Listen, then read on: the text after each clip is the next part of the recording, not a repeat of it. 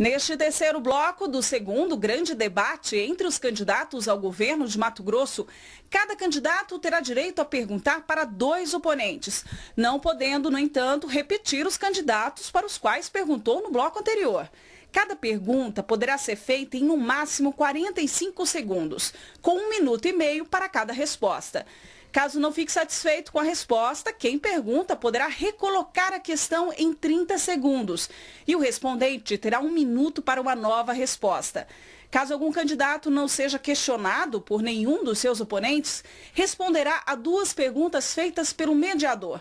O candidato que se considerar ofendido poderá solicitar imediatamente direito de resposta, que será concedido ou não mediante decisão do mediador em função do impedimento legal da presença do candidato José Marcondes Muvuca do PHS, que teve o pedido de registro de candidatura indeferido pela Justiça Eleitoral, em comum acordo com as assessorias dos quatro candidatos presentes, as regras desse terceiro bloco sofreram alteração. Desta forma, cada candidato poderá perguntar para dois oponentes com livre escolha.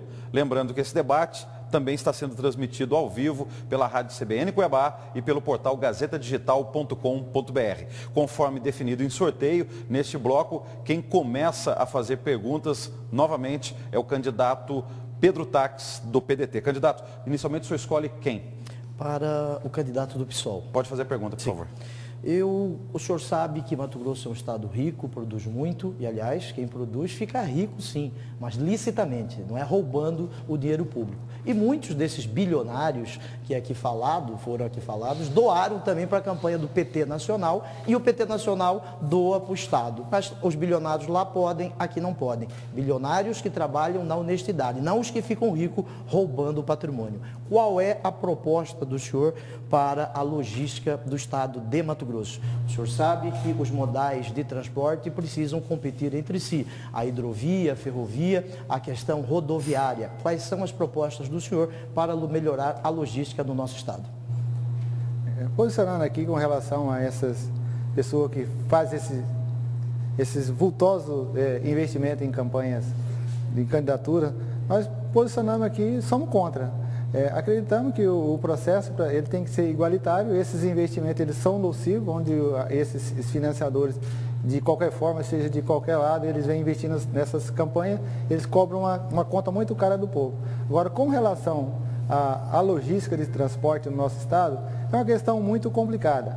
Por quê? Vem se arrastando há décadas aí os verdadeiros corredor, corredores da morte, estrada que não funciona, verdadeiro gargalo, não consegue escoar a nossa produção. Nós temos que fazer aqui políticas em que possamos é, desafogar essa questão dessas rodovias nós temos que incrementar, juntamente com, com o poder público federal, nós temos que tomar medidas para que possamos colocar efetivamente e possamos estender as ferrovias, fazer a interligação desse sistema ferrovia e, e rodovia, interligando também com e aproveitando o sistema também nosso fluvial. Nós temos que fazer esses aproveitamentos. Não podemos deixar que, aconte, que acontecer é, esses fatos que vêm aí, se perdurando anos e anos e, e não conseguimos articular política sequer para colocar as ferrovias para minimizar essa questão do transporte eh, rodoviário. O candidato está satisfeito com a resposta? Mais uma complementação. Nós temos que investir nas rodovias. Nós vamos fazer com que os recursos do FETAB sejam aplicados nos seus objetivos. Inclusive, foi aprovada uma lei este ano na Assembleia Legislativa, destinando 50% dos recursos para os municípios. Cumpriremos a lei, porque quem obedece à lei está deste lado. Investiremos sim na ferrovia, que chegará de Rondonópolis até Cuiabá, e na FICO, Ferrovia de Integração do Centro-Oeste. E o MT integrado terminaremos e ampliaremos. Tréplica de José Roberto. Transporte pesado, sabendo que os transportes pesados, que é a maior parte do transporte que acontece aqui em Mato Grosso, onde acontece transporte através do sistema de, de desses bitrem, caminhões muito pesados para que danifica a nossa estrada e aumenta o custo, aumenta o frete, aumenta e prejudica a nossa produção.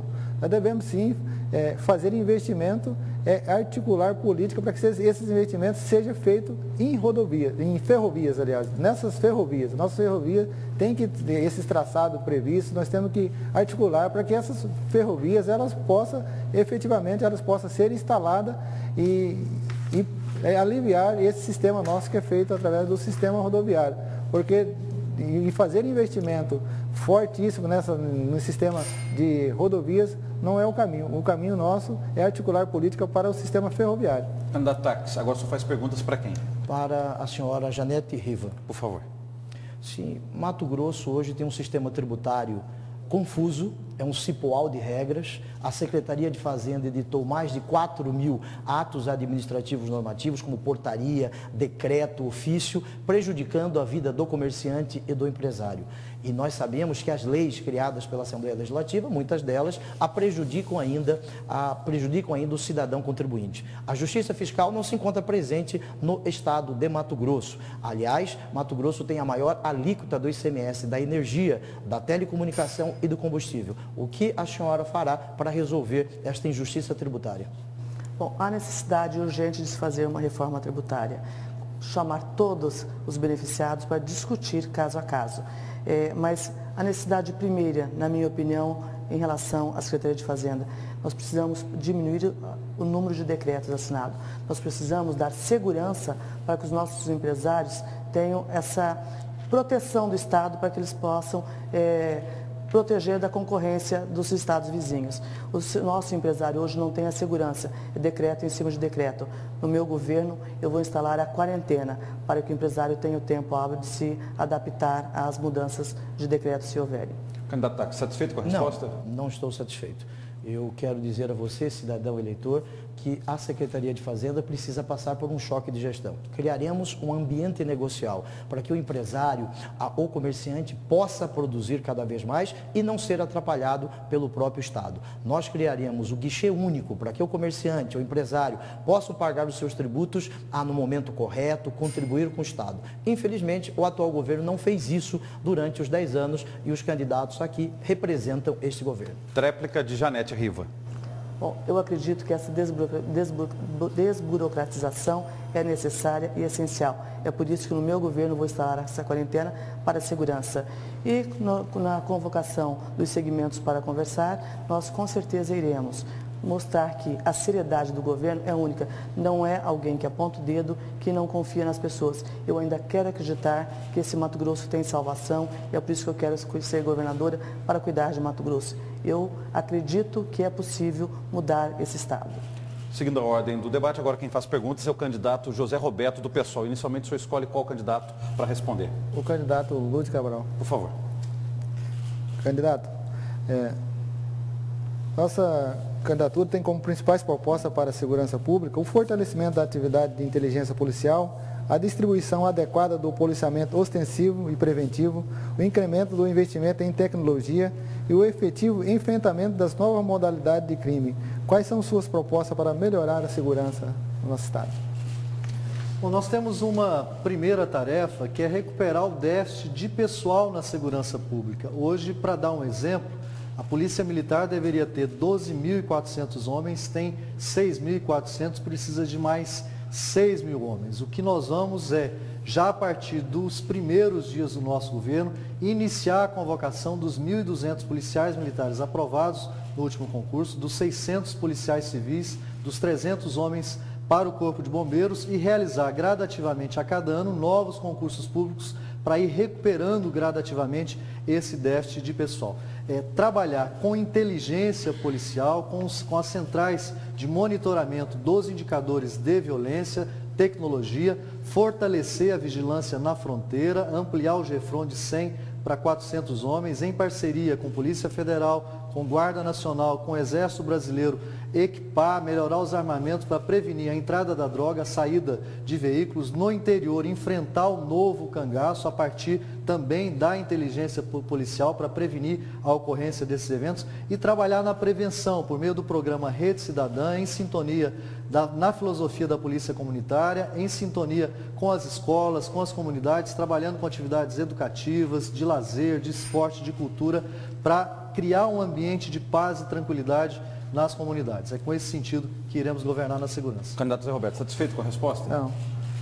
Sabemos também que, sabemos que a segurança pública, ela se efetiva através de serviços prestados pelo Estado. Se por um lado nós temos que fazer o combate do crime, por outro lado o Estado tem que prestar serviço. Tem que prestar serviço na, na, na, área, na área social e prestar serviço de qualidade ao cidadão para que essa segurança pública possa ser efetivada. Temos que investir em recuperação de dependentes químicos e nas escolas, fazer escola de tempo integral, para que possamos diminuir a questão da incidência da criminalidade. Tempo, candidato, tréplica de Lúdio Cabral. Bom, agora, um debate que é fundamental, porque o principal compromisso nosso é com a realização de políticas sociais que asseguram o direito da nossa população. A segurança pública é uma delas. Mas o Estado precisa ampliar a sua arrecadação. De que forma? Não aumentando imposto, ao contrário, desonerando setores produtivos para nós ampliarmos a nossa base de arrecadação diversificando a nossa economia, apostando na agricultura familiar, em cadeias produtivas da agricultura familiar sintonizadas com a grande agricultura, piscicultura, fruticultura, avicultura, criação de gado de leite em cadeias produtivas que industrializem, indústria do turismo, os serviços, o comércio, especialmente o pequeno comércio nas cidades, que precisa respirar por meio de uma política tributária inteligente, que dê a ele capacidade de giro e de comercialização dos seus produtos para termos melhor arrecadação para fazer os investimentos necessários em segurança pública. Candidato Zé Roberto, você escolhe quem para responder agora? A candidata Janete. Por favor. Candidata, nossa candidatura é terminantemente contra a implantação de pedágio, pois o cidadão já paga tributo para ter estrada de qualidade. Qual a sua posição sobre os pedágios nas rodovias estaduais que estão sendo implantados no nosso estado? Há dispensar eu disse há pouco que promessas mirabolantes não podem ser feitas, porque nós temos que ter um compromisso com o eleitor. É, estradas como a Estrada Parque de Chapada, até um projeto de lei de autoria do deputado José Riva, é, foi proibido a cobrança do pedágio, porque se pensa, imagina, sabemos ser uma de rodovia de passeio. Agora, o Estado dará conta de, de cuidar de todas as rodovias que estão é, merecendo atenção?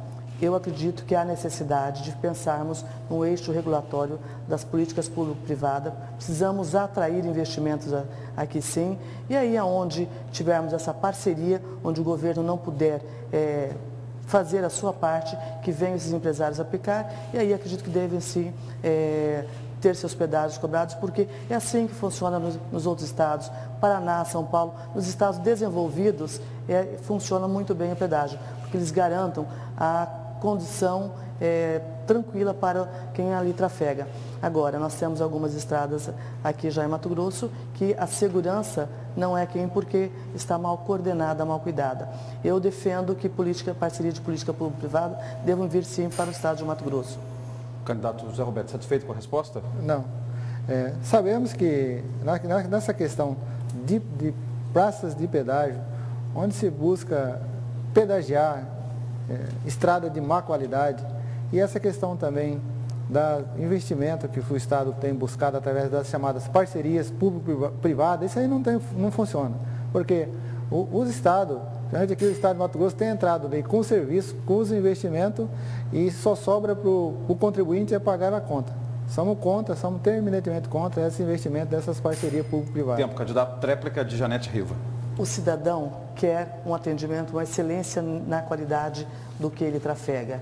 Então ele nunca se recusa a pagar. O que se recusa é quando o atendimento, a qualidade não é além daquele valor cobrado. Então tenho a certeza que essas políticas públicas, parcerias públicas-privadas são necessárias pela capacidade de endividamento do Estado. Um Estado de dimensão continental e precisamos atrair muito mais investimentos. Seguindo a ordem do debate, agora quem faz perguntas é o candidato Lúdio Cabral, do PT. O senhor escolhe inicialmente quem? Candidato Pedro Tax. Pode fazer, por favor. Candidato, o senhor tem uma campanha milionária, só na segunda parcial 11 milhões de reais, financiados por alguns conhecidos bilionários do estado de Mato Grosso. Alguns devedores dos mesmos milhões em impostos ao estado e outros beneficiados com incentivos fiscais. Hoje, é, o Grupo Gazeta Digital disse, publicou entrevista de, do Eraí Maggi, um dos seus financiadores, dizendo que táxi está dominado. O que o Eraí Maggi quis dizer quando disse táxi está dominado? O senhor deve ter feito esta gravação de forma ilícita Eu não sei se ela é verdadeira ou falsa. Agora eu conheço uma gravação que é verdadeira. A Polícia Federal gravou o Éder Moraes dizendo ao Silvio, que está na sua campanha, que o senhor recebeu 7 milhões e 500 por fora. Aliás, as suas contas na Justiça Eleitoral em 2012 foram reprovadas, não por questões formais, mas por objetos que ali não constavam. E a juíza reprovou a sua conta. As minhas prestações de contas foram aprovadas pelo TRE de forma unânime. E, aliás, o Erai Maggi também doou para a presidente Dilma 500 mil reais. Aliás, a Odebrecht doou para a presidente Dilma 2 milhões de reais. A presidente Dilma, de construtoras, empreiteiras, de bilionários, como o senhor disse, recebeu 34 milhões de reais. Ah, os bilionários de lá são diferentes dos bilionários daqui. O senhor tem que explicar por que entrou na justiça para que o senhor, nós não pudéssemos falar o nome do seu governador, Silval Barbosa. O senhor está escondendo ele debaixo do tapete, debaixo do trilho. Onde o senhor está escondendo o governador Silval Barbosa? A a minha prestação de conta foi aprovada, do senhor não foi. E, aliás, esta interceptação telefônica foi feita pela Polícia Federal. Não foi feita de forma ilegal, porque nós não sabemos se é verdadeira ou falsa esta gravação que o senhor fez referência. Aliás, o senhor é useiro e vezeiro em atacar as pessoas, inclusive as esposas dos candidatos, desrespeitando a mulher, desrespeitando a família a dois mato-grossenses. Candidato Lúcio, satisfeito com a resposta? Candidato, é, quem esconde apoios é o senhor, inclusive de pessoas envolvidas diretamente nas investigações da Polícia Federal na Ararat.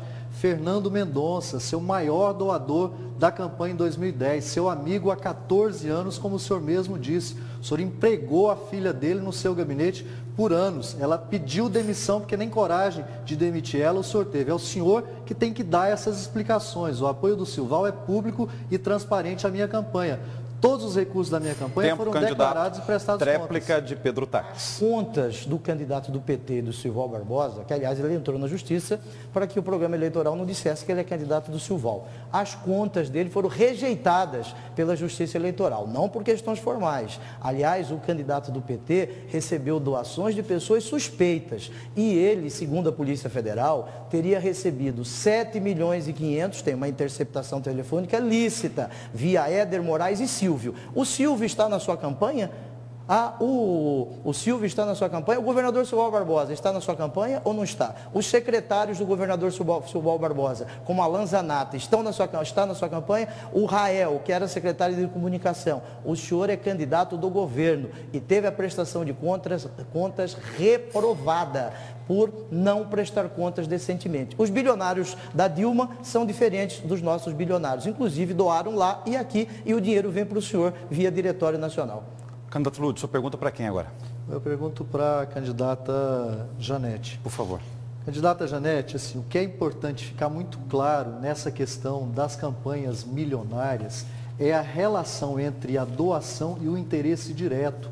Um doador de milhões, que deve milhões de impostos ao Estado, é, apoiando um candidato, um determinado candidato a governador. E um deles, isso está em um site de notícias do Grupo Gazeta, não é o Lúdio quem providenciou essa gravação.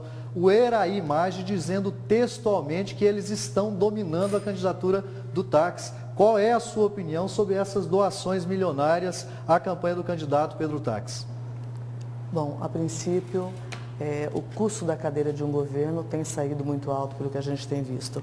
Mas eu quero é, usar parte do ICMS que essas grandes trades estão recebendo do governo estadual, sobrando para doar doação de campanhas e poder usar para o meu programa que é o Bolsa Família Estadual, porque a gente precisa dividir riquezas. Já ganharam bastante, já não estão gerando é, o emprego e renda, como assim foi iniciado a conversa para receber incentivo fiscal. Então nós vamos propor que parte desse ICMS venha para um programa que venha atender as pessoas, que venha colocar mais comida à mesa, que venha proporcionar é, uma melhor qualidade de vida. Precisamos dividir riquezas do nosso Estado. E isso, enquanto governador, é que eu quero fazer. Satisfeito com a resposta, candidato Lúcio? Bom, primeiro é deixar muito claro que eu nunca participei do poder do Estado, todos os apoios que eu tenho são públicos, inclusive o apoio do governador Silval Barbosa, que eu não escondo, quem esconde apoio são determinados candidatos que têm vínculos com políticos do passado, envolvidos em corrupção, tem vínculo com pessoas que ele condenava antes e que agora anda de mão dadas. E está muito claro a fala do Eraimage quando diz que domina a candidatura é, desse, determinado, desse determinado candidato. Nós temos compromisso é com o povo pobre. Tempo, candidato. Já... Tréplica de Janete Riva. Bom, o meu plano de governo, é, nós estamos olhando com outros olhos para a questão social, porque nós hoje somos um Estado rico, mas a riqueza é concentrada em poucos. Porém, apenas 11% da nossa população tem saneamento básico. E eu quero corrigir essas distorções quero ser a primeira governadora do estado de Mato Grosso para poder abraçar as famílias de Mato Grosso e dar às pessoas que vieram de outros estados aqui refazer sua, fazer, tentar sua vida, vender suas casas e vieram apostar aqui. Infelizmente não tiveram o retorno necessário. E para os mato-grossenses de Chapa e de Cruz, também que o Estado possa atender a mão neste momento de tanta necessidade e apoiá-las com capacitação para que possam sair dessa situação e abrir as portas do MT Fomento com microcrédito, para que elas possam possam começar a engatinhar na vida. Seguindo a ordem do debate, agora quem faz perguntas é a candidata Janete Riva. A senhora inicialmente escolhe qual candidato para responder suas questões.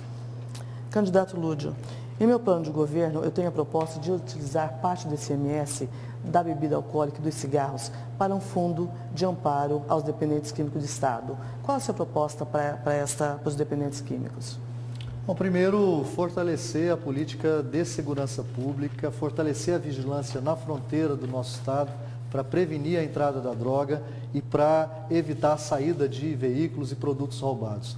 Na, eh, nas cidades, no, no diálogo com a população, ter a escola como espaço privilegiado de cuidado e proteção das crianças e jovens por meio de atividades complementares na cultura, no esporte, no lazer e nas artes, para proteger nossas crianças e jovens num espaço que é o espaço cotidiano onde ela está, que é a escola. E a polícia convivendo, tendo uma relação positiva com a comunidade. E na saúde, nós fortalecemos a rede de atenção à saúde mental, especialmente aqueles serviços que têm como tarefa acolher os dependentes químicos. Nós precisamos resgatar o papel do complexo Adalto Botelho e implantar no nosso estado quatro CAPS AD tipo 3 que funcionam em 24 horas, 24 horas por dia para acolher dependentes químicos em crise, para que eles possam receber o tratamento adequado de forma humanizada e possam ser recuperados. Além da parceria com instituições privadas que têm o trabalho de recuperação de dependentes químicos, que é fundamental para ampliar a abrangência da atuação do Estado.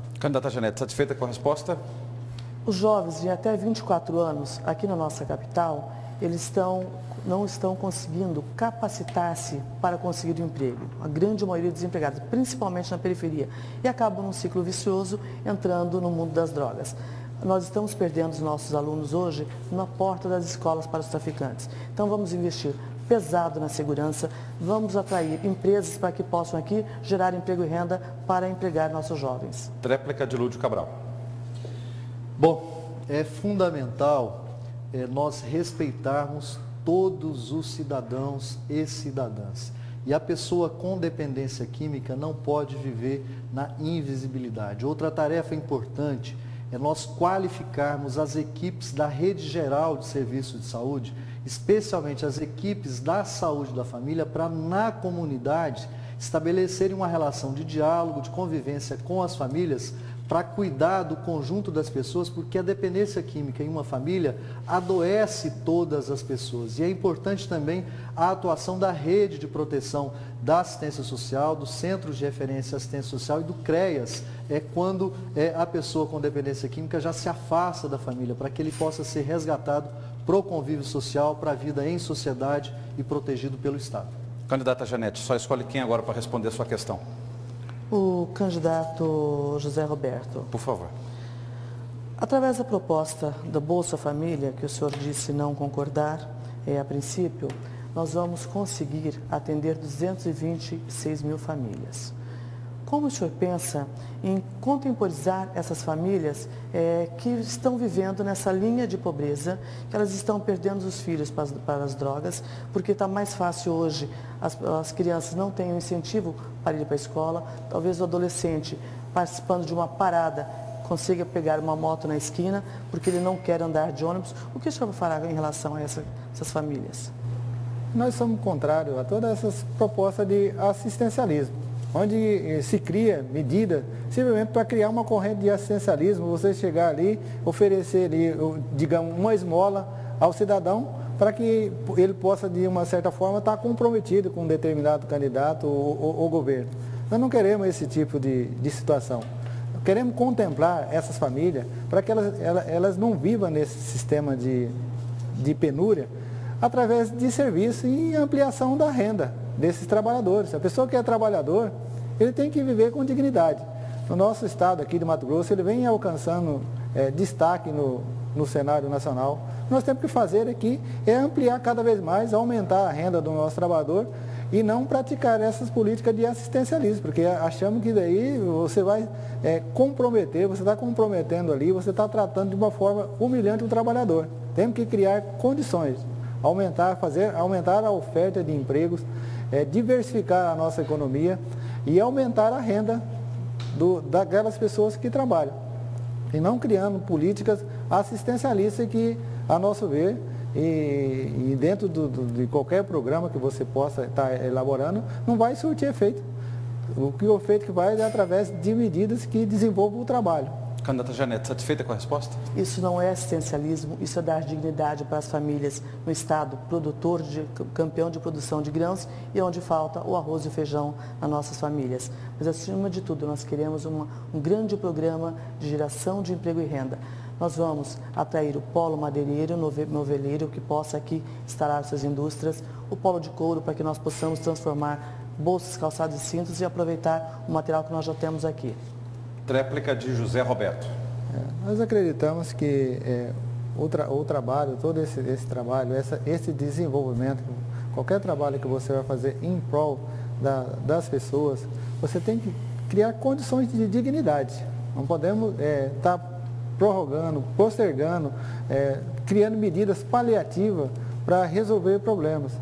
Nós temos que buscar uma solução mais definitiva, nós temos que avançar enquanto sociedade, nós temos que fortalecer a nossa sociedade, que através do seu trabalho possamos produzir riqueza e essa riqueza possa de fato estar, tá, é, que possa estar tá produzindo aqui o desenvolvimento da sociedade como um todo, onde o cidadão ali numa sociedade forte, onde que se produza, e o governo tem que criar políticas que criem condições de alavancar a, a qualidade de vida do seu cidadão. No próximo bloco, os candidatos a governador de Mato Grosso continuam fazendo perguntas entre si. Eleições 2014, o voto na Record.